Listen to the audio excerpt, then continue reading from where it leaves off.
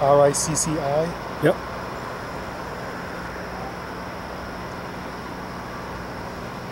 Tommy's dad seemed kind of mad when he left.